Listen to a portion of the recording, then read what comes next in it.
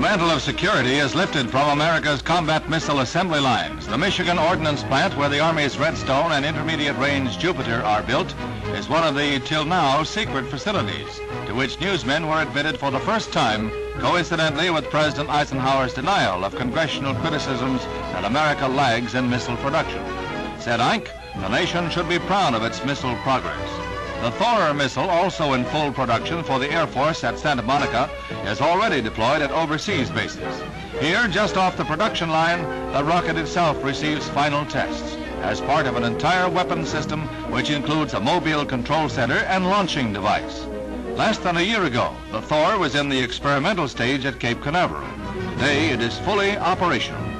Another missile just going into assembly line production is the Atlas, one of which carried the talking satellite.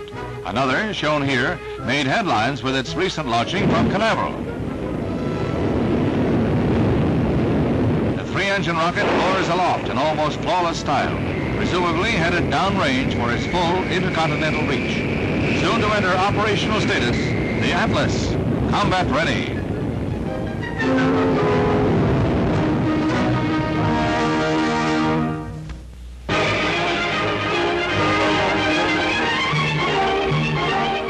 Mardi Gras, Mediterranean style. It's the Via Viareggio Carnival, and to the amazement of many, the pre-Lenten celebrants have outdone previous year's efforts with their gala, gaudy, gargantuan procession of gigantic animated figures out of fantasy and fable.